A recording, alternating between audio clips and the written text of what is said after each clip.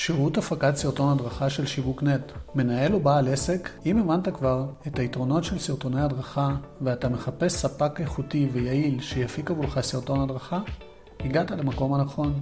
אנו נפיק עבורך סרטון בתהליך יעיל עם מינימום מעורבות שלך ומקסימום אחריות על כתפינו, כך שאתה תהיה רגוע בידיעה שהסרטון שלך יהיה עשוי טוב ובזמן. הנה כמה דוגמאות של סרטוני הדרכה. דיירות ודיירים יקרים, בקרוב נתכנס ליום מיוחד ומרגש, בו תוכלו לבחור את הדירה החדשה. כדי לסייע לכם בתהליך בחירת הדירה, אנו ממליצים לצפות בסרטון זה המבהיר את אופן בחירת הדירות החדשות. בואו נתחיל. קבוצות הבחירה כל דייר או דיירת משתייכים לקבוצת בחירה לפי ההסכם. דירות מיוחדות, דירות גן, דירות בקומת כניסה, דירות בטווח של 65 עד 70 מטר בקומות הנמוכות, דירות בטווח של 65 עד 70 מטר בקומות הגבוהות, דירות בטווח של 80 עד 84 מטר בקומות הנמוכות, דירות בטווח של 80 עד 84 מטר בקומות הגבוהות, קבוצת שדרוגים ושנמוכים. סדר הבחירה סעיף 14 להסכם 1. תחילה יבחרו את דירות הגן בעלי הדירות בקומת הקרקע, לאחריהם בעלי הדירות שדירתם פינתית, ולבסוף יתר הדיירים לפי קבוצות הבחירה. סדר הבחירה של הדירות המיוחדות ייקבע על ידי השמאי שידרג את סדר הבחירה לפי שווי הדירות הקיימות. דיירים שדירתם תדורג לפי השווי הגבוה ביותר, יבחרו ראשונים, וכן הלאה. מי שביקשו לעבור לקבוצת בחירה שאינה דירות מיוחדות, יעברו לקבוצת הבחירה בהתאם לבחירתם. ככל ואתם זכאים לדירת גן ולא נותרו דירות גן, תקבלו זכות לבחור את הדירה החדשה בקבוצת הבחירה הקרובה ביותר בשטחה לשטח הזכאות בכפוף להסכם. ככל שדירת הגן שתיבחר תהיה גדולה משטח הזכאות, יהיה עליכם לשלם עבור המטרים הנוספים. 2. הבאים בתור לבחור יהיו בעלי הדירות הפינתיות. סדר הבחירה ייקבע באמצעות הגרלה שתיערך על ידי בא כוח הדיירים והנציגות. 3. לבסוף יבחרו יתר בעלי הדירות בהתאם לטיפוס הדירה ולטווח הקומות. סדר הבחירה ייקבע באמצעות הגרלה. 4. תוצאות ההגרלה תהיינה סופיות, ולא ניתן יהיה לערער עליהן כמפורט בסעיף 14.27 להסכם. יום הבחירה ביום הבחירה לכל אחד מהבעלים תינתן חצי שעה לבחור את דירתו החדשה ולחתום על המסמכים הרלוונטיים. יש להגיע עם תעודת זהות וספח. בנוסף תבחרו גם חניה ומחסן. אם תרצו לשלוח נציג מטעמכם, יש להתייעץ עם עורכי הדין שלכם ולוודא את תקינות ייפוי הכוח של הנציג על פי דין. כל אחד מיחידי הבעלים שרשום בנסח הטאבו כבעלים מחויב להגיע בין אם בעצמו ובין אם באמצעות ייפוי כוח שאושר כדין על ידי עורכי הדין. אם לא הגעתם במועד, לרבות נציג מטעמכם, החברה תבחר דירה עבורכם לאחר שכל שאר הדיירים יבחרו את דירתם. אנו ממליצים, שלא לומר מפצירים, להגיע בזמן ולבחור בתבונה. יום הבחירה הוא יום מרגש, בו חלום הופך למציאות. שלכם, צוות קדמת היובל ואפריקה התחדשות עירונית.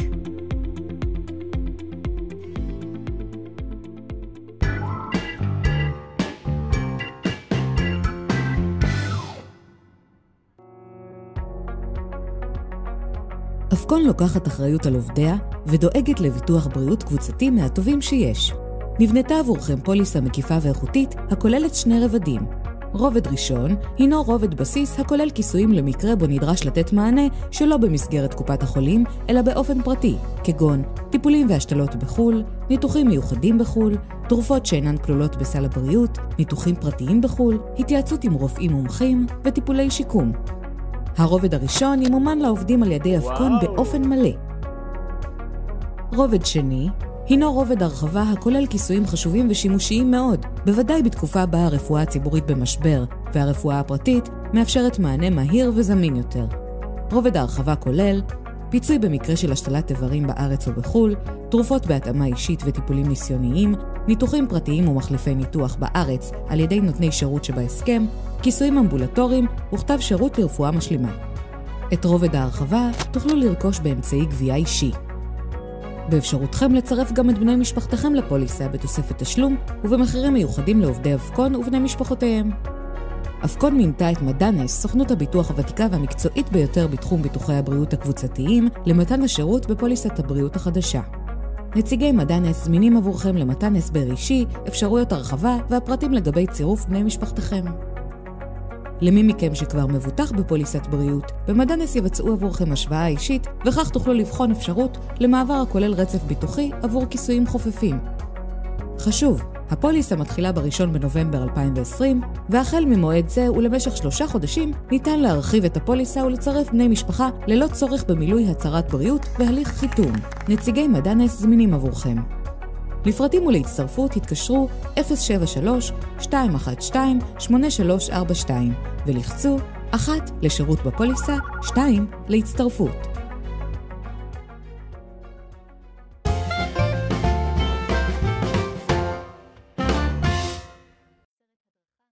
חשוב לנו שהפריט שאת מזמינה באתר שלנו יגיע אלייך במידה הנכונה ויראה עלייך הכי טוב שאפשר. לכן, קחי לך דקה ותראי איך למדוד את גופך בצורה הנכונה. לפני שאת מתחילה, הכיני סרט מדידה וקחי נשימה עמוקה. ככה תמדדי את היקף החזה. שימי לב, יש למדוד באזור הרחב ביותר. ככה תמדדי את אזור המותן. שימי לב, סרט המדידה צריך להקיף את האזור הצר ביותר במותן, אך לא ללחוץ. זהו, הגעת לאזור האחרון. ככה תמדדי את היקף האגן. שימי לב, המידה הנכונה שלך היא כאשר את מודדת את החלק הרחב ביותר באגן. שימי לב, אורך השמלה נמדד מהאזור הגבוה ביותר בכתף. אם תרצי לדעת מה יהיה אורך השמלה על גופך, תמדדי את עצמך מאזור זה. זהו, סיימת את המדידה. אל תשכחי לרשום על פתק את המידות שלך. עכשיו את מוזמנת לבחור פריט באתר, להציץ במדריך המידות שלנו ולהזמין את המידה שמתאימה לך. תתחדשי. לרכישה קלה ומאובטחת, היכנסי לאתר www.sharagan.co.il www.sharagan.co.il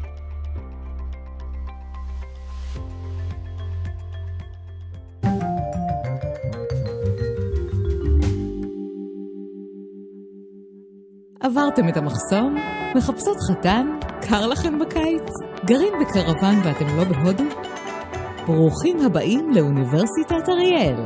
אגודת הסטודנטים היא עמותה הפועלת לקדם את רווחת הסטודנטים בתחום האקדמי, החברתי והתרבותי, והיא הגוף הרשמי המייצג את ציבור הסטודנטים והסטודנטיות אל מול האוניברסיטה ומחוצה לה. אגודת הסטודנטים מורכבת מהגוף הנבחר ומהגוף המקצועי, הגוף הנבחר הם חברי המועצה הסטודנטיאלית, יושב ראש האגודה וסגנו, הנבחרים בבחירות דמוקרטיות הנערכות בין הסטודנטים והסטודנטיות, חברי האגודה. המועצה מכילה בתוכה נציגים מכלל הפקולטות באוניברסיטה ואחראית על מגוון תחומים.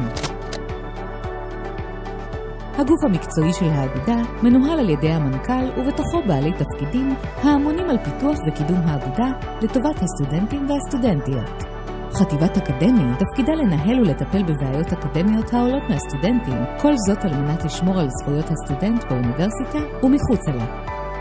חטיבת רווחה אמונה על קידום רווחת הסטודנטים והסטודנטיות בקמפוס ומסייעת ומייעצת במגוון תחומים ומקדמת את תחום המעורבות הסטודנטיאלית. שקט לכם בעיר? אומרים שאין מה לעשות? חטיבת תרבות ופנאי אחראית להעלות את מצב הרוח על ידי הבאת תכנים תרבותיים ובידוריים. חטיבת דוברות והסברה מייצגת את האגודה על כל פניה עם שקיפות מלאה מול גורמים שיקדמו את אינטרס הציבור הסטודנטיאלי באריאל. החטיבה האחראית על הניהול הלוגיסטי של האגודה היא חטיבת תפעול. החטיבה דואגת לניהול אירועי האגודה, ניהול הרכש והובלת פרויקטים רבים. מתנשפים אחרי העלייה לקמפוס העליון? מתפללים לרכבל? תחום הספורט והבריאות פה בשבילכם. מהכניסה הראשונה לקמפוס ועד סיום התואר, האגודה איתכם ואנו חלק מכם. רוצים לעשות שינוי? הצטרפו אלינו. ויישארו מעודכנים. אגודת הסטודנטים אריאל, כי אכפת לנו.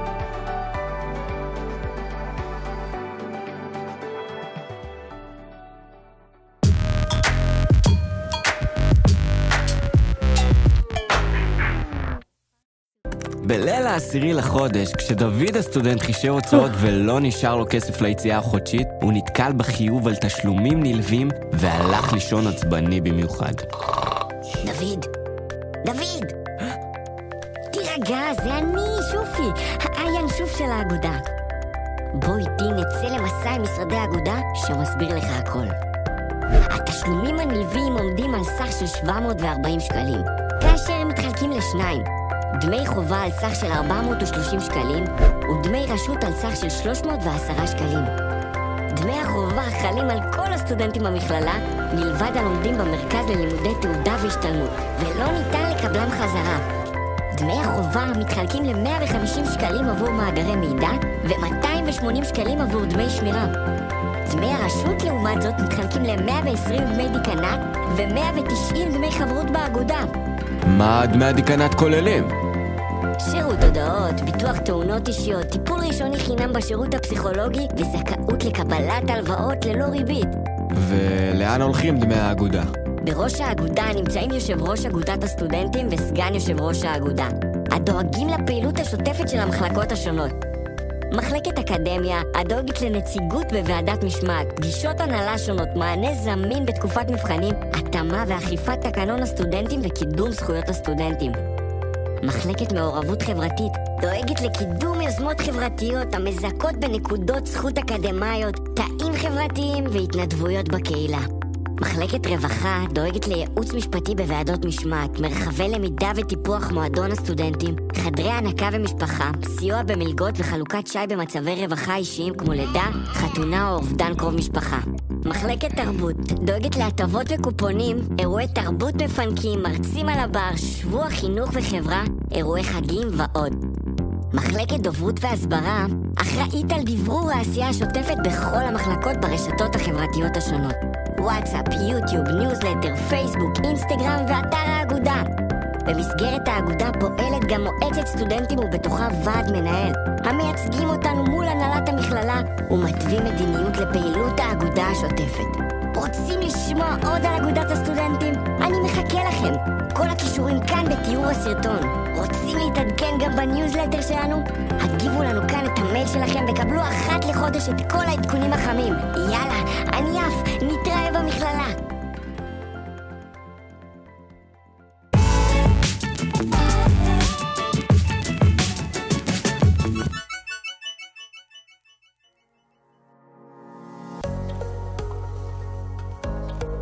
במהלך חודש מרץ נערוך את שיחת המשוב השנתית לאנשינו כחלק מתהליך הערכה לשנת 2020.